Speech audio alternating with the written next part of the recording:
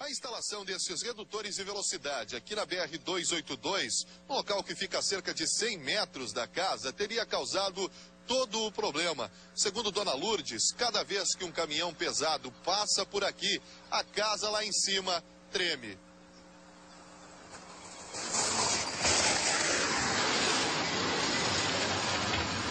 Não foi só a casa que tremeu. Volta essa imagem pra gente aí, ó.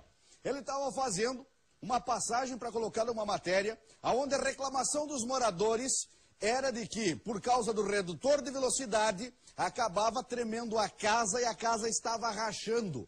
Só que o que rachou foi o caminhão. Passou o Mercedão, larga o Mercedão, vem bicho velho, vem o, cargo. É louco. Ficou em dois pedaços, minha gente. Partiu o chassi do medonho.